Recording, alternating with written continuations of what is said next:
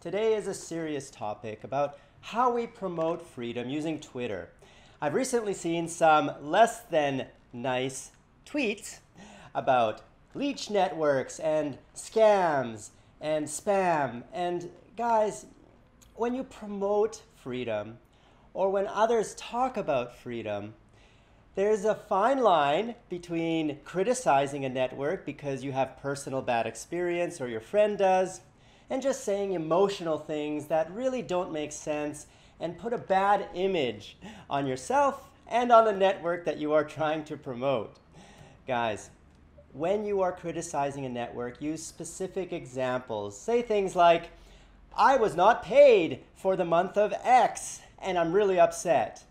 That's a criticism. Or, I don't like the dashboard of network Y because it doesn't help me grow and here's why don't create general statements like network X is a scam because it's a scam.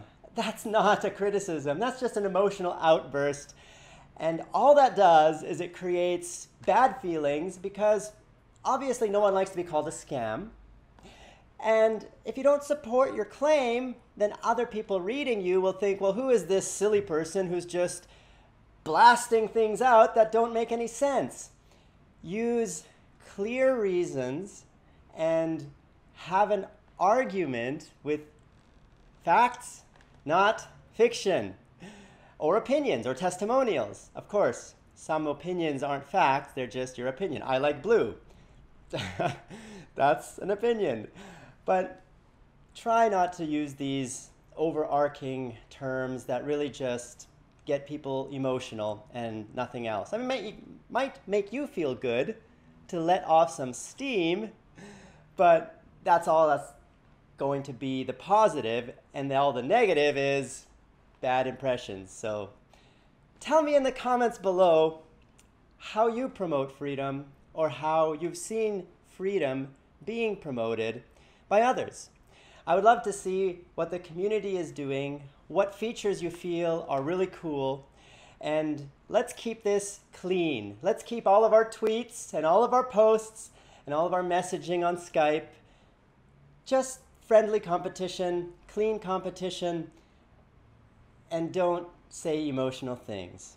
I hope this helps, guys.